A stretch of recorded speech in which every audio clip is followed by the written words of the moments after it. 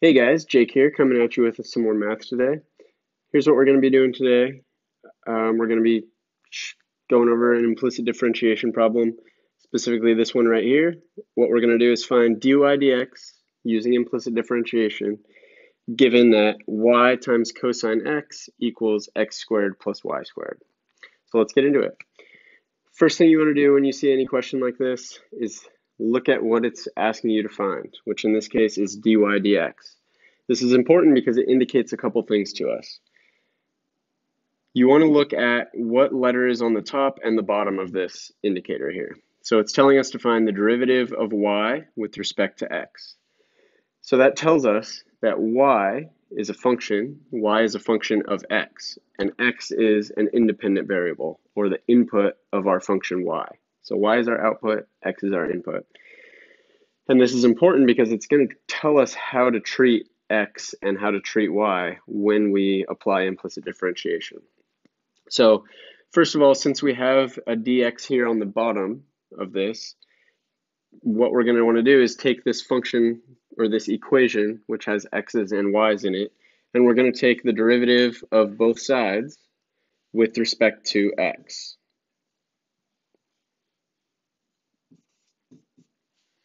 So we're going to take d dx of both sides.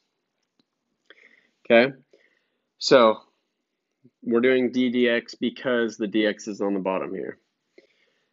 If this was flipped, we'd be treating this problem very differently. But this is what we have. So to take the derivative of the left side of our equation here with respect to x, notice we have two things being multiplied together here, which tells us we're going to need to use the product rule.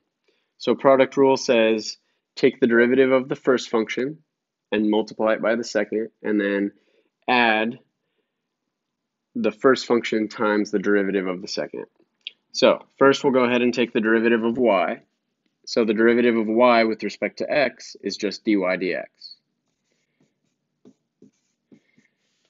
Because we don't have an explicit formula for y in terms of x, we aren't going to be able to find an explicit formula for the derivative of y we don't really know what y is. So since we don't know anything about y other than the fact that it's a function of x, when it tells us to find the derivative of y with respect to x, really the best we can do is just to say dy dx because this this notation here means the derivative of y with respect to x.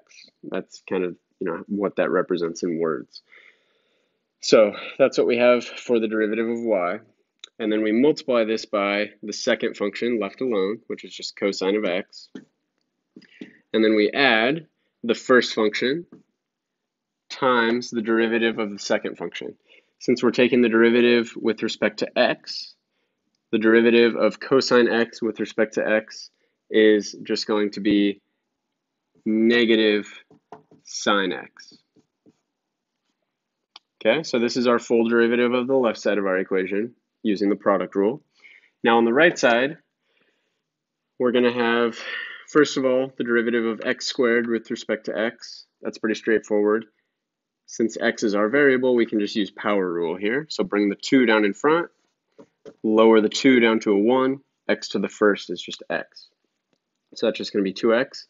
And then the derivative of y squared with respect to x is going to be a little bit more complicated. The reason is we aren't taking the derivative of this with respect to the thing that that it has in it, right? We're taking the derivative of something with a y in it with respect to x. So as a result, this is going to require us to use the chain rule because what you want to think about here is it's almost like we have an inner function and an outer function, right? So let's say that y is our inner function, y is some function of x, which we don't know, so we can't just easily replace that with something else and take its derivative with respect to x. It's going to be a, you know, that added step of having this being some unknown inside function, and then this squared piece up here is kind of like our outside function. So chain rule says we're going to take the derivative of the outside, leave the inside alone. So the outside is just this squared piece here. So we bring the 2 down in front, leave the inside alone, which is our y, and then lower the power by 1, 2 minus 1 is 1, y to the first is just y. And then, by chain rule, we need to multiply that by the derivative of our inside function. Our inside function is y, and we're taking the derivative with respect to x. The derivative of y with respect to x is just dy dx. Okay, so it's kind of like product rule, you know, uh, or I'm sorry, not product rule. It's kind of like power rule. You have that component of bringing the 2 down in front, lowering the power by 1. But then, due to the chain rule, we need to also multiply this by the derivative of y. Okay, so similar process as usual. We want to get all of our dy dx terms on one side, all of our non-dy dx terms to the other side. So for dy dx terms, we have this one here and this one here. So we'll have both of those on the left side of our equation. And then this is a non-dy dx term here. So we want to move this over to the other side, and that's a non-dy dx term. We'll leave it over there. So first, on this side of our equation, our dy dx times cosine x is just going to stay over here. And then this term we want to move over to the other side. We could, instead of thinking of this as plus y times negative sine x, we can move this negative over here in front, and that'd be the same as minus y times sine x. So to move that over, we can add y times sine x, and that'll cancel. But we want to obviously add it over to this side of the equation also. Okay, so we've moved that over there. What we also need to do is bring this piece over here to this side. So if we have plus 2y dy dx, we would need to subtract 2y dy dx to cancel it from over here and subtract it over on this side. Minus 2y dy dx. And then we're going to have this piece that was over here before, 2x, and then this plus y sine x that we just added over. Okay, so let's just move this kind of up to the top to kind of get organized here. All right, so now notice all of our dy dx terms are over on the left side of our equation, and the right side of our equation doesn't have any dy dx terms in it. So since everything on the left side of our equation has dy dx in it, we can factor that out of this left side of our equation. So if we pull out a dy dx, this term here, what would we be left with? If we pulled out the dy dx, we would just be left with this cosine x piece. And then this term here, if we pulled out our dy dx, we would just be left with negative 2y. Okay? And then everything over here is still going to be the same.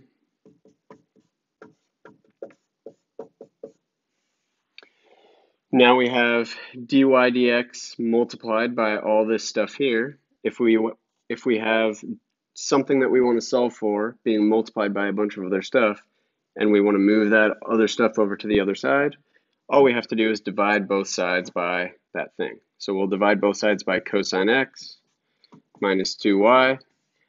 Divide the other side by it also, because whatever you do to one side of your equation, you have to do to both sides. So then we'll just be left, so this will cancel with this, and we'll just be left with dy dx equals 2x plus y sine x all over cosine x minus 2y.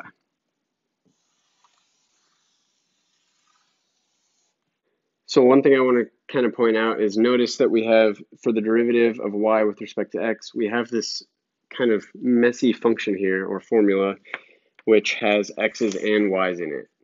And the reason why we can only express the derivative of y with respect to x, or dy dx, in terms of x and y, instead of just x or just y, is because the, the equation that we started out with had the x's and y's all kind of jumbled up together, and there wasn't a way to solve for just one in terms of the other. So in other words, we didn't have an explicit function for y in terms of x. Since we didn't have an explicit formula, only kind of the implicit function that we were given, the best we could do is to get for the derivative something with both x's and y's in it. And that's why it's called implicit differentiation, is because it's used when you don't have an explicit formula for the thing that you're trying to find the derivative of. You just have an implicit version of it, which basically just means the x's and y's can't be separated and they're kind of all stuck together. Or in other words, your input and your output are all stuck together. So hopefully that was helpful for you guys. If there's any questions that you have after watching this that I didn't answer in the video, please drop them in the comment section below. I'd love to help answer any questions for you that I wasn't able to answer in the video.